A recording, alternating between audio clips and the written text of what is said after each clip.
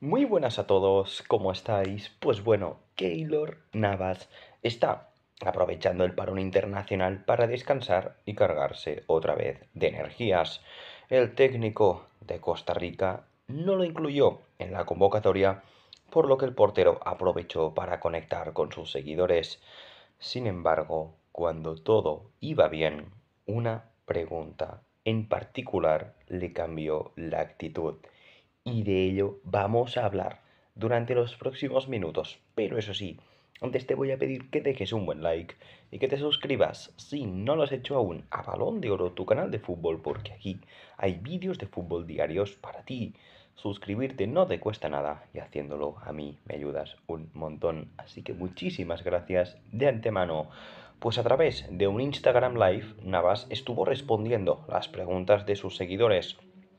La mayoría iban enfocadas a sus mejores momentos, como con el Real Madrid o el Mundial 2014 con Costa Rica. Pero ojo, porque en medio de los buenos momentos se coló una pregunta que hasta a su propia hija le llamó la atención.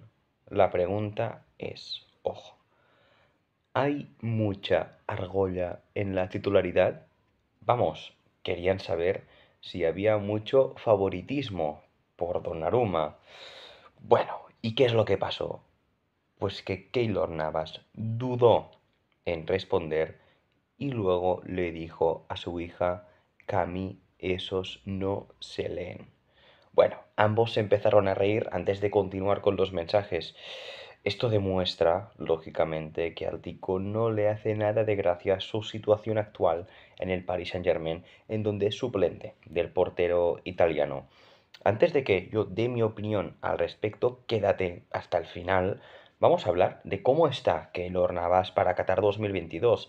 Y es que ante la falta de minutos en el club parisino, muchos han dudado si Navas llegará bien al Mundial o con poco rodaje, evidentemente. Pero el portero titular del equipo no tiene dudas. Dijo, sí, claro, siempre preparado. Llevo dos meses entrenando para prepararme para ir a Qatar. Por lo que representa en la cancha, es evidentemente muy difícil que Luis Fernando Suárez no tenga en mente a Keylor como el titular en Qatar. Costa Rica no cuenta con otro portero de un recorrido tan extenso como el del tres veces campeón de la UEFA Champions League. Bueno, Evidentemente, la situación de Keylor Navas en el Paris Saint Germain no es la mejor. Él no está cómodo, lo demostró en el Instagram Live.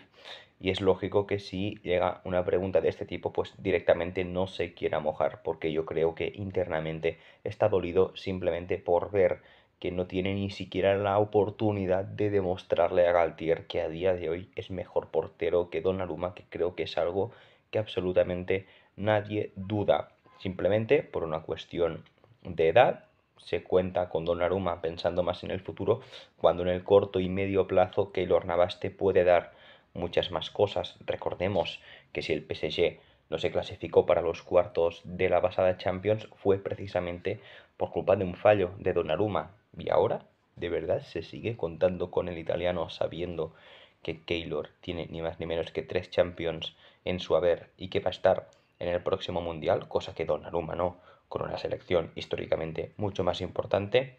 En fin, cosas que no se entienden. Si te ha gustado el vídeo, deja un buen like y suscríbete. Si no lo has hecho aún, a Balón de Oro, tu canal de fútbol, porque aquí hay vídeos de fútbol diarios para ti. Y como siempre, de todo corazón, muchísimas gracias por seguirnos.